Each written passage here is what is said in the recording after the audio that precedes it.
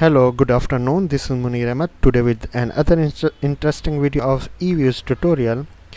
I'm going to do some more work in eViews. In our previous video, we learned how can we transfer our data from excel sheet to eviews work file and how can we get our t statistic f statistic and r square but now i'm going to uh, obtain my mean standard deviation minimum and maximum value of my variables individually and then collectively.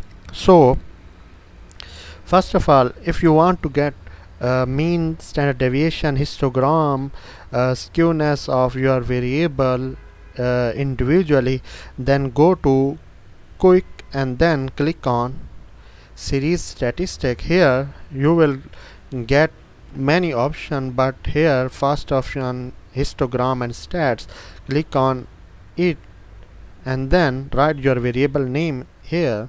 Uh, if I'm going to uh, get my uh, histogram minimum maximum value or mean or standard deviation of my wage variable. So I wrote my variable name here and then click on OK.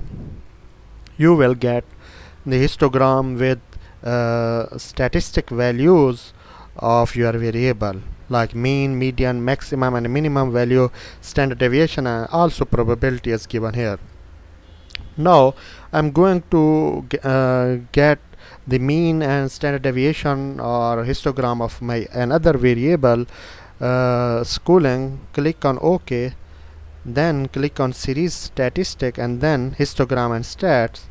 Write your variable name here like schooling and then click on OK.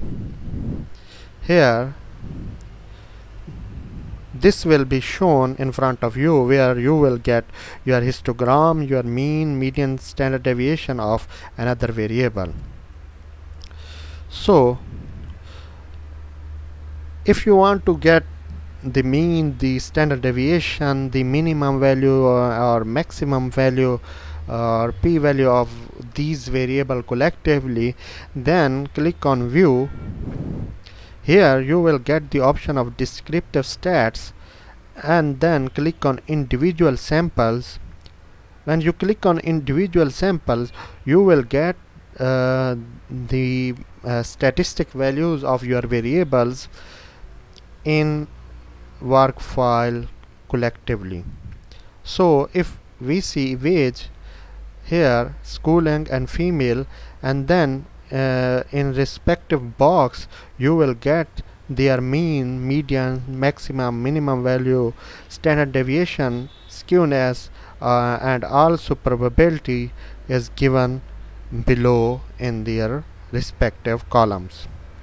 So this is very easy software uh, for our data analysis for our interpretation of data for our class assignment for our uh, thesis project in our next video we are going to do some more work in eViews. Uh, for example we are going to make uh, how to make uh, graph in uh, eViews.